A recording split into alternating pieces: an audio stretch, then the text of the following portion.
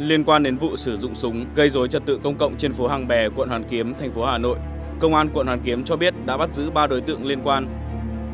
Trước đó, khoảng 5 giờ sáng ngày 20 tháng 5, Công an quận Hoàn Kiếm nhận được tin báo của người dân về việc có vụ đánh nhau gây rối.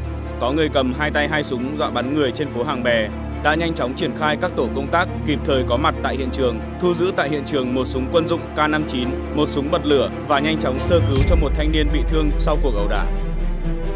Tại cơ quan công an, ba đối tượng bị tạm giữ hình sự được xác định là Đặng Ngọc Điệp, sinh năm 1979 ở phường Đại Kim, quận Hoàng Mai, Hà Nội, Nguyễn Xuân Chiến, sinh năm 1976 và Nguyễn Đức Nam, sinh năm 1990, cùng chú ở ngõ Phất Lộc, phường Hàng Buồm, quận Hoàn Kiếm, Hà Nội.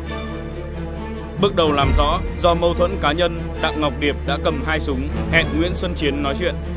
Khi Nguyễn Xuân Chiến cùng Nguyễn Đức Nam vừa đi từ nhà ra khu phố Hàng Bè thì hai bên gặp nhau. Đặng Ngọc Điệp lập tức rút súng bắn nhưng đạn không nổ. Hiện vụ việc vẫn đang tiếp tục điều tra, làm rõ.